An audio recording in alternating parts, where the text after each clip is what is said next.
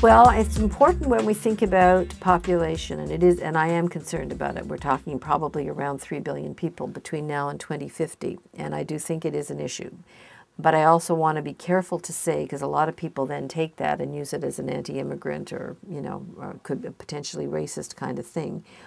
When we look at who is using the most energy and water in the world, it isn't the places in the world where the population is exploding.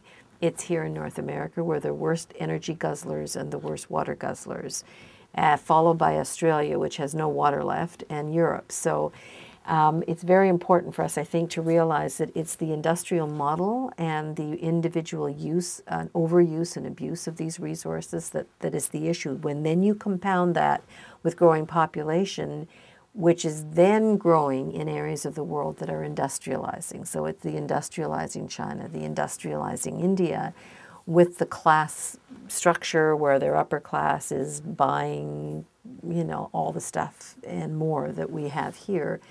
That's the thing that's unsustainable. So it's the connection between population and consumerism and industrialization that we have to put together.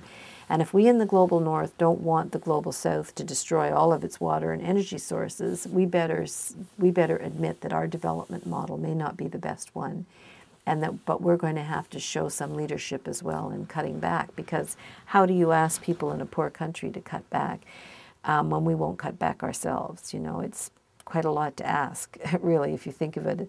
It's like saying, well, we'll all cut our emissions or we'll all cut our water use or whatever by 20%. But if you're, you know, somebody described it, if you're 80 pounds and you're supposed to just cut your food consumption by, you know, 20%, you're going to die. If you're 200 pounds, probably you could cut your food consumption by 20% and then some, right?